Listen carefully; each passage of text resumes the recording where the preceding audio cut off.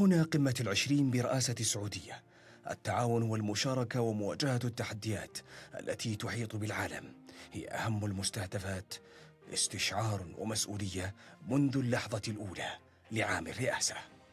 أصحاب الفخامة السيدات والسادة ستتولى المملكة العربية السعودية رئاسة مجموعة العشرين في ديسمبر هذا العام وهنا نؤكد عزمنا على مواصلة العمل لتحقيق التقدم المنشود في جدول أعمال المجموعة وسنعمل مع كافة الدول الأعضاء خاصة أعضاء الترويكا آه، دولتي اليابان وإيطاليا لمناقشة القضايا الملحة في القرن الواحد والعشرين ولتعزيز الابتكار والحفاظ على الأرض ورفاه الإنسان.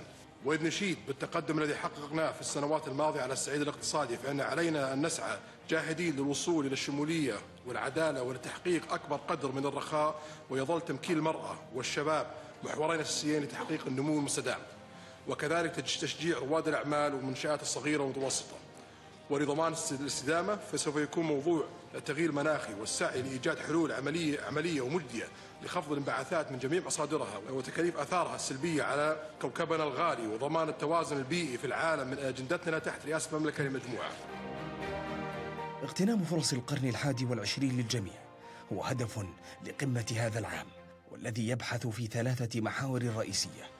عن تمكين الإنسان والحفاظ على كوكب الأرض وتشكيل آفاق جديدة طمعا في تهيئة الظروف لتمكين الأفراد من الذكور والإناث للعيش والعمل والازدهار وتعزيز الجهود في تأمين الغذاء والماء والحفاظ على الطاقة والبيئة والمناخ والاعتماد على الاستراتيجيات التي تعزز الابتكار والتقدم التكنولوجي.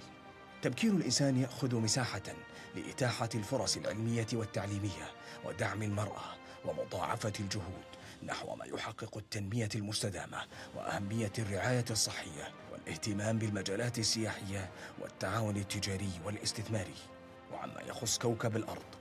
فضبط الانبعاثات من أجل تنمية مستدامة ومكافحة تدهور الأراضي والمواطن الطبيعية وحماية المحيطات وتعزيز استدامة ومتانة نظم المياه العالمية وتعزيز الأمن الغذائي.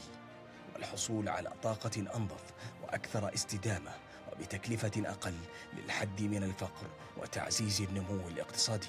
وعن تشكيل آفاق جديدة فتعزيز التعاون في مجال الفضاء ومكافحة الفساد وتمكين الاقتصاد الرقمي وإيجاد حل عالمي مشترك لمعالجة التحديات الضريبية الناشئة عن رقمنة الاقتصاد والاستفادة من التقنيات في البنية التحتية وتطوير المدن الذكية ومعالجة دخول الشركات التقنية الكبيرة في المجال المالي. ولتستند هذه القمة برئاسة السعودية على ما يشكل مستقبلا فريدا لشعوب العالم بوجود أصحاب القرار.